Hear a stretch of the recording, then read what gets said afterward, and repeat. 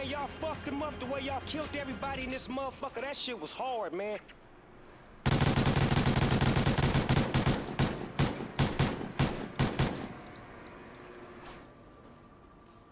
You about to go from West Coast to East Coast.